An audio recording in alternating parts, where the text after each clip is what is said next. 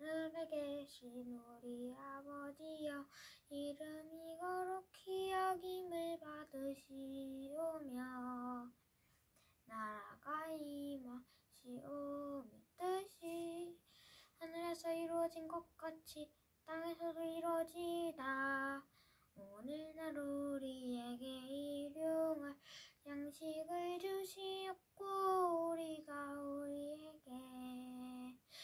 지은 자를 사하여 준 것 같이 우리 죄를 사하여 주시옵고 우리를 시험에 들게 하지 마시옵고 다만 악에서 구하시옵소서.